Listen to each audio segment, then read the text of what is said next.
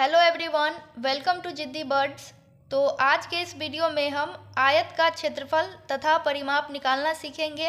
तो सबसे पहले हमें आयत के इंट्रोडक्शन यानी कि परिचय को समझना पड़ेगा। तो यहाँ पे सबसे पहले आयत के परिभाषा को समझेंगे, यानी कि आयत किसे कहते हैं, ये जानेंगे। तो यहाँ पे लिखा गया है, चार भुजाओं से घिरी हुई वह बंद आकृति जिसके आमने सामने की भुजाएँ बराबर हो तथा प्रत्येक कोण 90 डिग्री के बराबर हो उसे हम आयत कहते हैं। तो यहाँ पे मैंने आयत का फिगर बना के रखा है। तो इसमें क्या बोल रहा है? चार भुजाओं से घिरी हुई वह बंद आकृति जिसके आमने सामने की भुजाएँ बराबर हो। तो यहाँ पे देखिए ए बी और डी सी, ये आमने सामने की भुजाएँ हैं। तो ये दोनों आपस में क्या होंगी? बराबर होंगी। क्योंकि ए बी के सामने की भुजा डी सी है और डी सी के सामने की भुजा ए बी है। इसलिए ये दोनों आपस में बराबर होंगी। अगर ए बी दस मीटर है तो डी सी भी क्या होगा? दस मीटर ही होगा। अब यहाँ पे देखिए ए डी और बी सी ये भी आयत की भुजाएँ हैं। तो ए डी के सामने की भुजा बी सी है और बी सी के सामने की भुजा ए डी है। तो ये दोनों भुजाएँ भी आपस में समान होंगी, यानी कि बराबर होंगी। अगर ये भुजा ए डी सात मीटर होगी तो बी सी भी यहाँ पे हमारा क्या हो जाएगा? सात मीटर। और यहाँ पे क्या दिया गया है?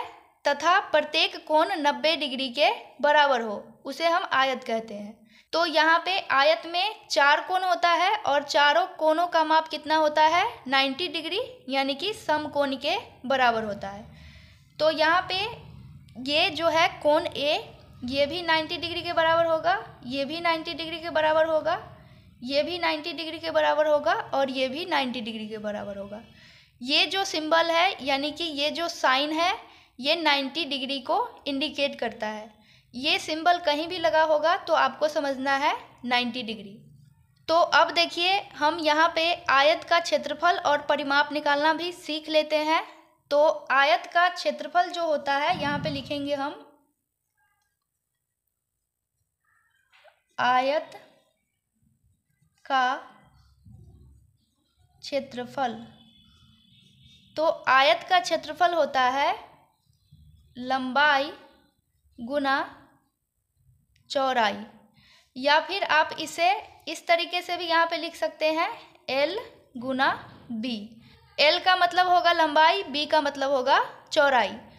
तो यहाँ पे आपको एक चीज़ और समझना होगा, आयत में जो सबसे बड़ी भुजा होती है, उसे हम लंबाई कहते हैं। तो यहाँ पे ए बी और डी सी क्या है? लंबाई है। और जो छोटी भुजा होगी, उसे हम क्या कहते हैं? चौड़ाई कहते हैं। तो ए डी और बी सी क्या हो जाएगा हमारा? चौड़ाई हो जाएगा। तो यहाँ पे लंबाई क्या हो जाएगा?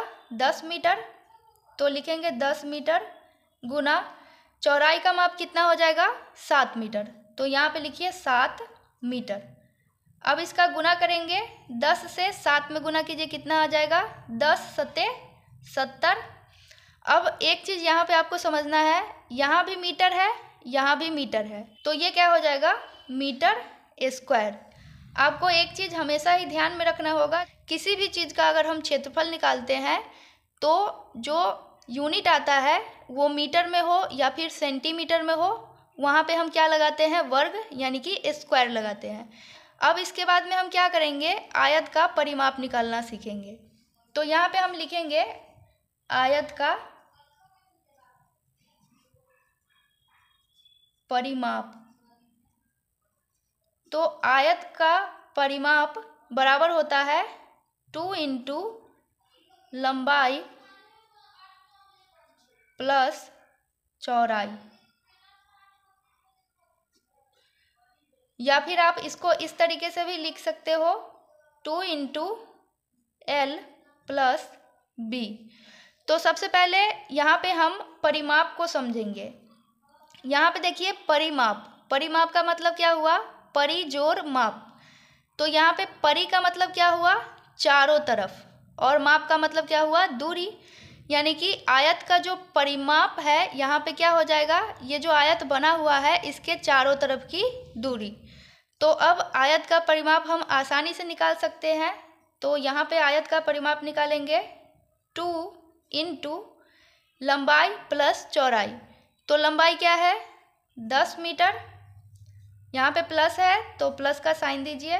चौड़ाई क्या है? सात मीटर। तो यहाँ पे लिखेंगे सात मीटर। अब इसके बाद में यहाँ पे क्या करेंगे? टू इन टू दस मीटर में सात मीटर को जोड़ दीजिए। कितना आ जाएगा ये? सत्रह मीटर। अब देखिए, यहाँ पे कोष्ट लगा हुआ है। इसका मतलब क्या होगा? दो से सत्रह मीटर में गुना करेंगे। तो सत्रह मीटर से दो में गुना कीजिए, कितना आ जाएगा? सत्रह दुना चौंतीस मीटर। तो यही हमारा क्या हो जाएगा? आंसर हो जाएगा। तो यहाँ पे हमारा पहला क्वेश्चन दिया गया है, यदि किसी आयत की लंबाई पाँच सेंटीमीटर तथा चौड़ाई तीन सेंटीमीटर हो तो आयत का क्षेत्रफल एवं परिमाप ज्ञात करें। तो मैंने आपको बताया था, जो बड़ी भुजा होगी वो लंबाई होगी और जो छोटी भुजा होगी वो चौड़ाई होगी। तो यहाँ पे ए बी और डी सी क्या हो जाएगा? लंबाई और ए डी इसके बाद में बी सी ये हमारा क्या होगा? चौड़ाई। तो यहाँ पे ए बी क्या हो जाएगा? पाँच सेंटीमीटर। तो आयत में आमने सामने की भुजा बराबर होती है तो डी सी भी पाँच सेंटीमीटर। अब इसके बाद में चौड़ाई तीन सेंटीमीटर है तो ए डी और बी सी ये छोटी भुजा है तो ये हमारा चौड़ाई हो जाएगा। तो ए डी क्या हो जाएगा? तीन सेंटीमीटर। तो बी सी भी तीन सेंटीमीटर होगा। तो ये आपको अच्छे से समझ में आया होगा। तो हमें क्या निकालना है? सबसे पहले आयत का क्षेत्रफल। तो आयत का क्षेत्रफल क्या होता है? यहाँ पे लिखेंगे, आयत का क्षेत्रफल बराबर लंबाई गुना चौड़ाई। तो यहाँ पे लंबाई क्या है? पाँच सेंटीमीटर। तो यहाँ पे लिखेंगे, पाँच सेंटीमीटर गुना चौड़ाई क्या है? तीन सेंटीमीटर। तो यहाँ पे लिखिए तीन सेंटीमीटर। अब पाँच से तीन में गुना करेंगे, क्या आ जाएगा? पाँच दिया पंद्रह। सेंटीमीटर यहाँ भी है, सेंटीमीटर यहाँ भी है। तो क्या हो जाएगा? Centimetre square. क्योंकि क्षेत्रफल में हम हमेशा स्क्वायर लिखते हैं तो यहाँ पे आयत का क्षेत्रफल क्या निकल के आ गया? पंद्रह सेंटीमीटर स्क्वायर। अब इसके बाद में हम क्या निकालेंगे? आयत का परिमाप। तो सबसे पहले यहाँ पे फॉर्मूला लिखेंगे। आयत का परिमाप बराबर टू इन टू लंबाई प्लस चौड़ाई। टू इंटू लंबाई क्या है? पाँच सेंटीमीटर तो लिखेंगे यहाँ पे पाँच सेंटीमीटर प्लस चौड़ाई कितना है? तीन सेंटीमीटर तो यहाँ पे लिखिए तीन सेंटीमीटर अब इसके बाद में इसे सॉल्व करेंगे टू इंटू पाँच सेंटीमीटर और तीन सेंटीमीटर को जोड़ दीजिए। कितना आ जाएगा? पाँच, तीन, आठ सेंटीमीटर अब इसके बाद में क्या करेंगे? आठ सेंटीमीटर से दो में गुना करेंगे। तो कितना आ जाएगा? आठ दुना सोलह सेंटीमीटर तो यही हमारा क्या हो जाएगा? आयत का परिमाप। और इसका जो क्षेत्रफल होगा, यानी कि ये क्या हो जाएगा? ये इसका क्षेत्रफल हो जाएगा। ये जितने दूर में आयत बना है, उतना दूर का एरिया यही है। तो ये क्या हो जाएगा? आयत का क्षेत्रफल जो कि पंद्रह सेंटीमीटर स्क्वायर है और यहाँ पे देखिए, इसके चारों तरफ़ की जो दूरी होगी, वो क्या होगी? सोलह सेंटीमीटर अब इसके बाद में सेकेंड क्वेश्चन में है, यदि किसी आयत की लंबाई बारह मीटर तथा चौड़ाई आठ मीटर हो तो आयत का क्षेत्रफल एवं परिमाप निकाले।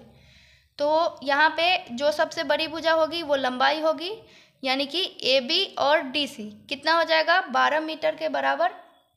तो यहाँ पे लिखिए बारह मीटर। तो ये भी बारह मीटर होगा। और छोटी भुजा यहाँ पे ए डी और बी सी है। तो ये हमारा चौड़ाई हो जाएगा। तो चौड़ाई कितना दिया गया है? आठ मीटर। तो यहाँ पे लिखेंगे आठ मीटर। ये भी आठ मीटर हो जाएगा। तो यहाँ पे लंबाई और चौड़ाई हमें पता हो गया है।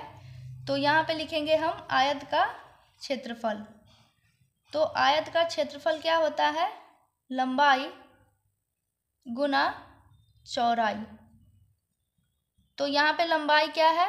बारह मीटर। तो लिखिए यहाँ पे बारह मीटर गुना चौड़ाई क्या है? आठ मीटर। तो लिखेंगे यहाँ पे हम आठ मीटर। अब बारह से आठ में गुना कीजिए। कितना आ जाएगा? बारह अट्ठे छियानवे। तो यहाँ पे लिखेंगे छियानवे।